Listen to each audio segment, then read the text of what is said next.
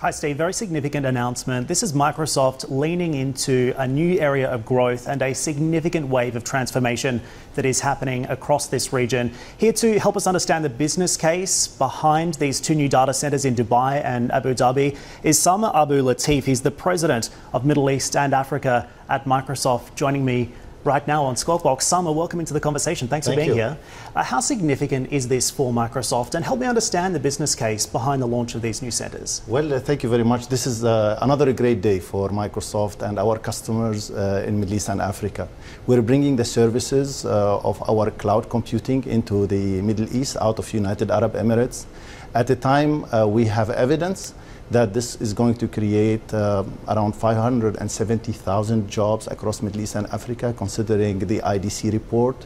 And it is very likely uh, that this investment is going to accelerate the digital transformation of our customers' businesses. It meets very well the aspirations of the governments around the region for data residency. It will help us as well building the momentum that is needed for the region to really realize its potential through uh, digital transformation and digitization in general. Uh, from an economic value, uh, also the IDC report is stating that for uh, this investment is going to create uh, for every dollar that's invested around our, our technology, there will be another $10 in the ecosystem. And with that comes employability, uh, comes opportunities for our customers to disrupt themselves at a time technology is really the core of what's happening uh, in, in the region. And Samer, this is certainly a tough region to be operating in because what we hear now from firms like Dark Matter, based here in the UAE, is that cybersecurity risks are increasing. And what we see now is the increased prominence and frequency of cyber attacks into this part of the world, sponsored by state actors. Are there any contingencies that you're putting in place specifically for this region to protect client and customer data? Look, we've been investing a lot in, uh, in helping the governments understand the scope uh, of security, and obviously, this is a top of mind for all the chief information officers across the region. There is uh, a, um, a, level of uh, acceptance today and even uh, improved perception that cloud computing is an enabler of improved security.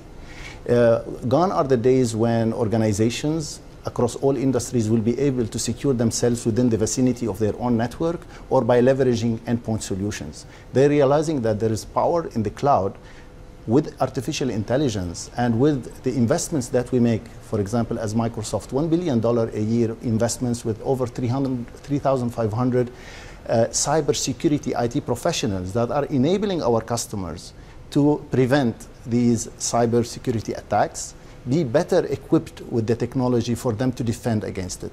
So there is this dialogue on policy and on the understanding of the scope of security and on the investments that we are able to make on their behalf for them to leverage. Hey everybody, it's Hadley Gamble from our new CNBC Middle East Bureau in Abu Dhabi. Thanks for stopping by. Now to watch more, you can try one of the videos that just popped up on your screen. And don't forget to subscribe.